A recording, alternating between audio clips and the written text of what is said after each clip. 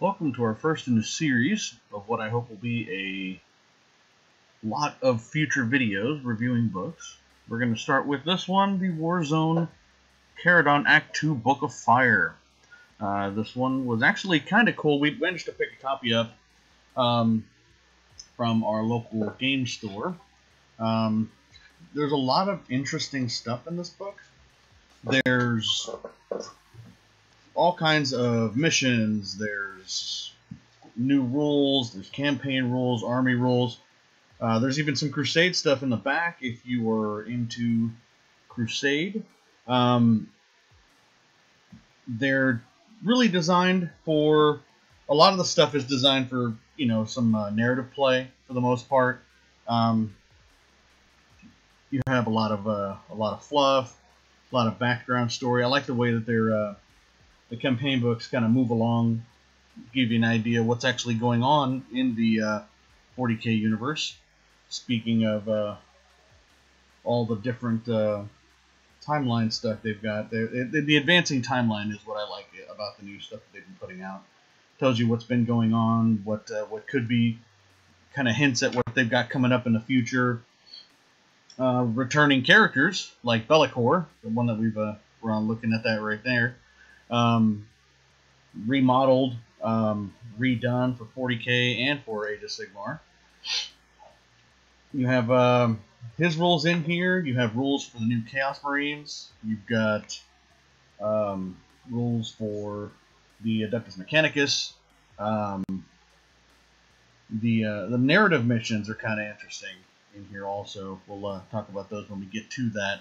But um, you know, you've got the new characters they've been putting in here. Uh, you've got Morvenn Vahl, the, the uh, High Lord of Terra, which apparently decided they needed to get out of the uh, council chambers and fight with the Sisters of Battle.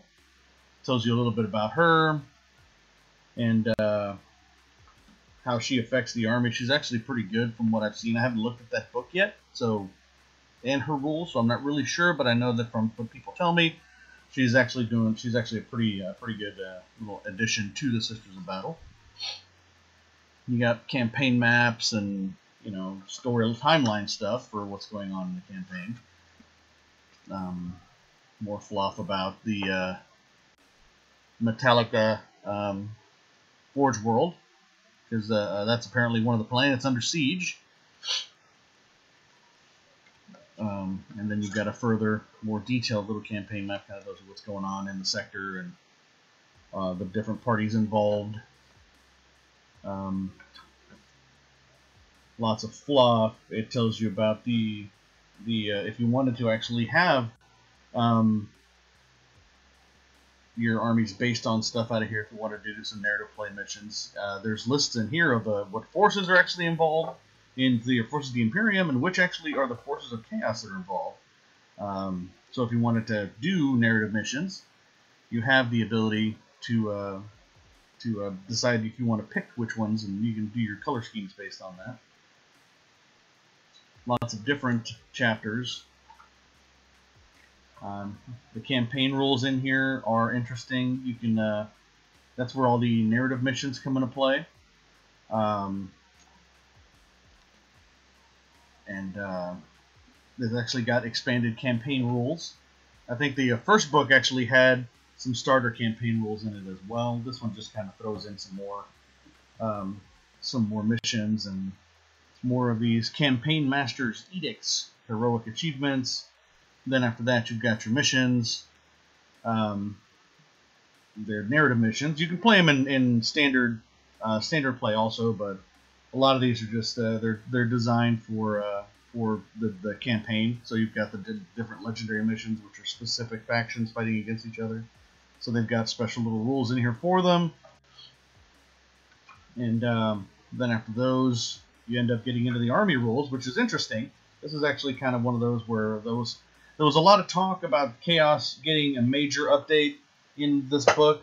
Um, it looks like Games Workshop has decided they're going to go ahead and just wait, and uh, uh, Chaos players will get their their uh, they'll get their extra wound, uh, most likely with the uh, with the main release of the Codex. Uh, I don't I haven't heard anything on whether or not they're actually going to give them a, some kind of a stopgap kind of thing to make them a little bit more a little bit more hardy, so they can match up with their Primaris brothers. But uh, but yeah, this actually has rules for the Skitarii veteran cohort, uh, the Order of the Martyred Lady, one of the uh, basically one of the uh, Sisters of Battle chapters, the one of the Order's militant.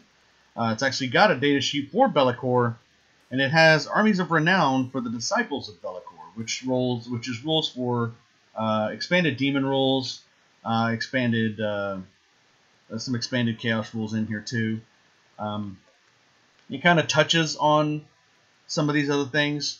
Um, I have some thoughts on the uh, Skitarii veteran cohort. Um, this is actually kind of interesting rules.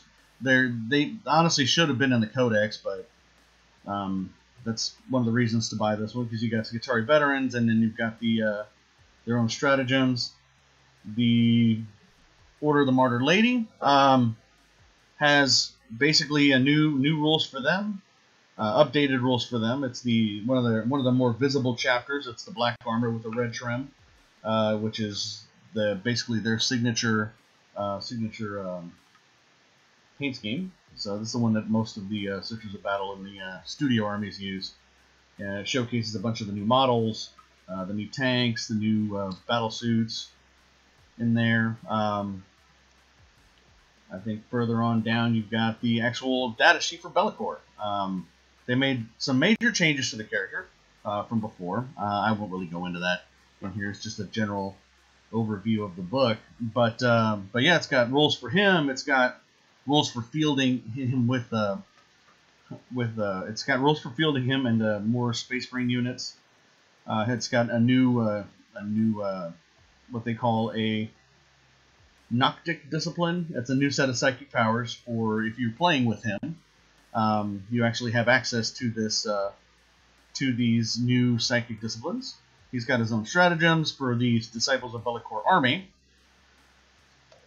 Uh, and then in the back, or just the, just right after that, you've got the Chaos Space Marines Appendix. Um, this is actually um, a way for Games Workshop to, if you're a Chaos player, you now have less books that you have to carry around with you. Um, you have all of the rules from um, the previous um, areas where you'd find all these chaos rules for all the individual chapters. Where you've got your your word bearers, you've got your uh, um, the Night Lords, the Emperor's Children, uh, the Alpha Legion, my personal favorite. Um, you've got all the different rules, and they're updated with new stratagems for them for 9th edition. So they're it's it's it's something. Um, it, I was hoping for a little more, but it's better than it's better than nothing. Um, uh, some of these are actually really cool the way they updated some of them. Um, they updated the artifacts so that they work better in 9th edition now. Um, then, uh, like I said, they have they included stratagems, which they didn't actually. They only had the old, um, like 8th edition codex stratagems, but these are new ones and they are they are more updated. So again, uh, they'll work better in 9th edition. Um, but yeah, all of the uh, they all got more artifacts, more stratagems, and their own uh, their own warlord. The new the new warlord traits for all of them are in there as well. Everything from the world word bearers, the Iron Warriors, the Emperor's Children, the World Eaters, the Black Legion, which is kind of cool. Uh, you actually had a, a, touch of his stuff with uh, with the release of Abaddon, so um, I'm hoping he'll get some updated rules too. Um, he's got more. They've got more artifacts for those guys also. And then uh, something that I didn't know they would be including in here also was Renegade chapters. Um, basically, uh, Chaos chapters that didn't really fall to Chaos, more just kind of uh, went away from the Imperium. So they're not really one of the major Chaos factions. Uh, some of them did fall to Chaos, uh, some of them did not, but it gives you an, uh, the ability to um, use other um, other chapters that are not some of the main ones. So you, if you have you make up your own, uh, you have you know renegade warlord traits. You've got different traits for different uh, uh, warlord traits for different uh, new uh, factions, and they get their own stratagems and they get their own artifacts as well. Uh, and then something I wasn't expecting, uh, which was not in the table of contents. Well, it might have been table of contents, but it wasn't at the beginning. Was the they updated uh, Fabius Bile's rules? So there's actually two data sheets in this book. Uh, there's Be'lakor and Fabius Bile's updated data sheet. Um, it has his relics, his uh, updated uh, his updated stuff. Um, you also have the Crusade rules in the back, which are something we're looking at probably starting up doing. Um, just not exactly sure when, uh, but we will. Um, that's pretty much it. That's uh, yeah, that's it. My thoughts on it. It's a good book to have. Um, but uh, but yeah, I think I think it's definitely worthwhile picking up. Keep gaming. Welcome to our first in a series of what I hope will be a lot of future videos reviewing books. We're going to start with this one, the Warzone Charadon Act 2 Book of Fire. Uh, this one was actually kind of cool. We managed to pick a copy up um, from our local game store. Um, there's a lot of interesting stuff in this book. There's all kinds of missions. There's new rules. There's campaign rules, army rules. Uh, there's even some Crusade stuff in the back if you are into Crusade. Um, they're really designed for a lot of the stuff is designed for you know some uh, narrative play for the most part. Um, you have a lot of uh, a lot of fluff, a lot of background story. I like the way that their uh, the campaign books kind of move along, give you an idea what's actually going on in the 40k uh, universe. Speaking of uh, all the different uh, timeline stuff they've got, the, the advancing timeline is what I like about the new stuff that they've been putting out. Tells you what's been going on, what uh, what could be, kind of hints at what they've got coming up in the future. Uh, returning characters like Be'lakor, the one that we've uh, we're on looking at that right there, um, remodeled, um, redone for 40k and for Age of Sigmar.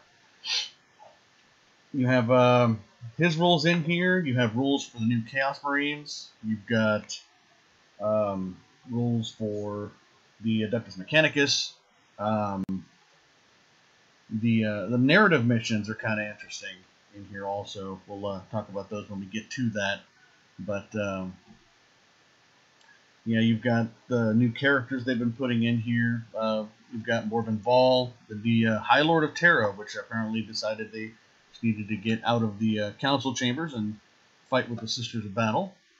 Tells you a little bit about her and uh, how she affects the army. She's actually pretty good from what I've seen. I haven't looked at that book yet, so and her rules, so I'm not really sure. But I know that from what people tell me, she's actually doing. She's actually a pretty uh, pretty good uh, little addition to the Sisters of Battle. You got campaign maps and you know, story timeline stuff for what's going on in the campaign. Um, more fluff about the uh, Metalica um, Forge World, because uh, uh, that's apparently one of the planets under siege.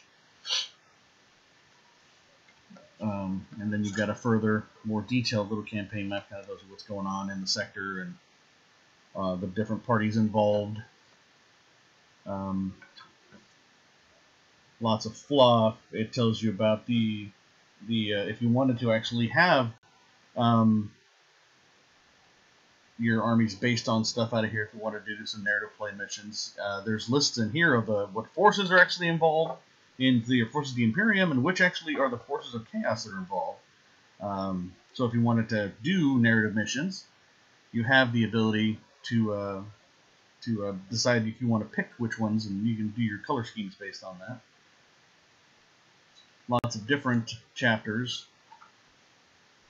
Um, the campaign rules in here are interesting. You can uh, that's where all the narrative missions come into play. Um, and uh, they've actually got expanded campaign rules. I think the uh, first book actually had some starter campaign rules in it as well. This one just kind of throws in some more um, some more missions and more of these campaign masters edicts heroic achievements. Then after that, you've got your missions. Um, they're narrative missions. You can play them in, in standard uh, standard play also, but a lot of these are just uh, they're they're designed for uh, for the, the campaign. So you've got the di- different legendary missions, which are specific factions fighting against each other. So they've got special little rules in here for them. And um, then after those, you end up getting into the army rules, which is interesting. This is actually kind of one of those where those there was a lot of talk about Chaos getting a major update in this book. Um, it looks like Games Workshop has decided they're going to go ahead and just wait, and uh, uh, Chaos players will get their their uh, they'll get their extra wound, uh, most likely with the uh, with the main release of the Codex. Uh, I don't I haven't heard anything on whether or not they're actually going to give them a some kind of a stopgap kind of thing to make them a little bit more a little bit more hardy, so they can match up with their Primaris brothers. But uh, but yeah, this actually has rules for the Skitarii veteran cohort, uh, the Order of the Martyred Lady, one of the uh, basically one of the uh, Sisters of Battle chapters, the one of the Order's militant. Uh, it's actually got a data sheet for Be'lakor, and it has armies of renown for the disciples of Be'lakor, which rolls which is rules for uh, expanded demon rules, expanded some expanded chaos rules in here too. Um, it kind of touches on some of these other things. Um, I have some thoughts on the uh, Skitarii veteran cohort. Um, this is actually kind of interesting rules. They're, they honestly should have been in the Codex, but um, that's one of the reasons to buy this one because you got Skitarii veterans, and then you've got the uh, their own stratagems. The Order of the Martyr Lady um, has basically a new new rules for them uh, updated rules for them. It's the one of the one of the more visible chapters. It's the black armor with the red trim, uh, which is the basically their signature uh, signature um, paint scheme. So this is the one that most of the uh, Sisters of Battle in the uh, studio armies use. And it showcases a bunch of the new models, uh, the new tanks, the new uh, battle suits in there. Um, I think further on down you've got the actual data sheet for Be'lakor. Um, they made some major changes to the character uh, from before. Uh, I won't really go into that in here. It's just a general overview of the book. But um, but yeah, it's got rules for him. It's got rules for fielding him with uh, with uh, it's got rules for fielding him and uh, more Space Marine units. Uh, it's got a new uh, a new uh, what they call a Noctic discipline. It's a new set of psychic powers for if you're playing with him um, you actually have access to this uh, to these new psychic disciplines. He's got his own stratagems for these disciples of Be'lakor army. Uh, and then in the back, or just the, just right after that, you've got the Chaos Space Marines Appendix. Um, this is actually um, a way for Games Workshop to, if you're a Chaos player, you now have less books that you have to carry around with you. Um, you have all of the rules from um, the previous um, areas where you'd find all these chaos rules for all the individual chapters. Where you've got your your word bearers, you've got your uh, um, the Night Lords, the Emperor's Children, uh, the Alpha Legion, my personal favorite. Um, you've got all the different rules, and they're updated with new stratagems for them for ninth edition. So they're it's it's it's something. Um, it, I was hoping for a little more, but it's better than it's better than nothing. Um, uh, some of these are actually really cool the way they updated some of them. Um, they updated the artifacts so that they work better in 9th edition now. Um, then, uh, like I said, they have they included stratagems, which they didn't actually. They only had the old, um, like 8th edition codex stratagems, but these are new ones and they are they are more updated. So again, uh, they'll work better in ninth edition. Um, but yeah, all of the uh, they all got more artifacts, more stratagems, and their own uh, their own warlord. The new the new warlord traits for all of them are in there as well. Everything from the world word bearers, the Iron Warriors, the Emperor's Children, the World Eaters, the Black Legion, which is kind of cool. Uh, you actually had a, a, touch of his stuff with uh, with the release of Abaddon, so Um, I'm hoping he'll get some updated rules too. Um, he's got more. They've got more artifacts for those guys also. And then uh, something that I didn't know they would be including in here also was Renegade chapters. Um, basically, uh, Chaos chapters that didn't really fall to Chaos, more just kind of uh, went away from the Imperium.